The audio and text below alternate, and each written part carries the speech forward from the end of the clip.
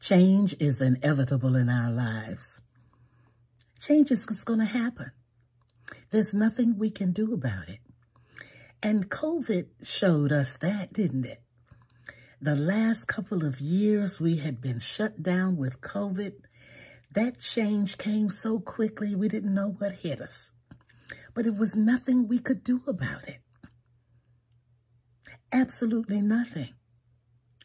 And we had to make a decision as to how we were going to react to all of the rules and the regulations we had to deal with when we didn't even really know what the disease was all about. But we learned and we took our time and we grew into it. And the next thing you knew, we had assimilated or adapted to the change.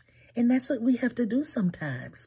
We can resist the change or we can adapt to the change.